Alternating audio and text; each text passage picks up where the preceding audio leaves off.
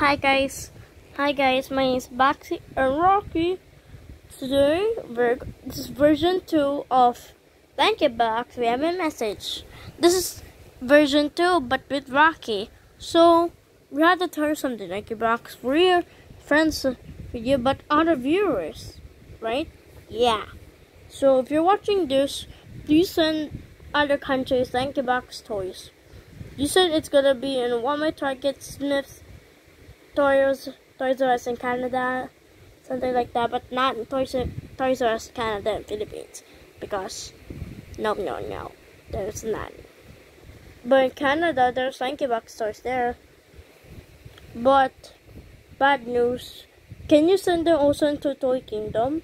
If it's included, we will make sure that it's okay. So this is Rocky and Boxy signing off. Watch our first video, link down in the description or click here at the top. So guys, we're now gonna sign out. You rock guys.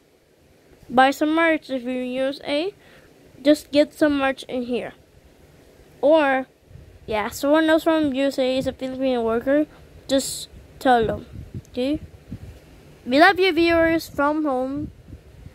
Go open merch. Go to the Walmart or Target and find some to go here, okay? Bye guys.